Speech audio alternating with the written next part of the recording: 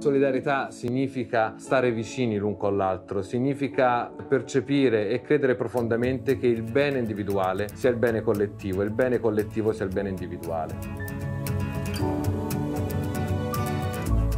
Solidarietà non può essere più sinonimo solo di assistenza né di mera filantropia. Solidarietà indica fratellanza, relazioni, capacità di coesione, con l'atteggiamento di costruire insieme una umanità nuova.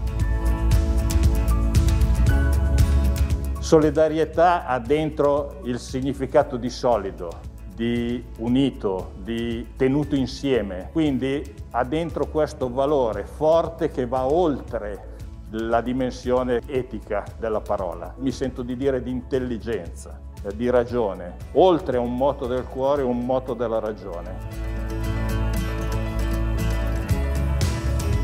La solidarietà in questo momento storico è una rete che abbraccia gli anziani, una rete di persone, i vicini di casa, i piccoli esercenti, i negozianti, i portieri.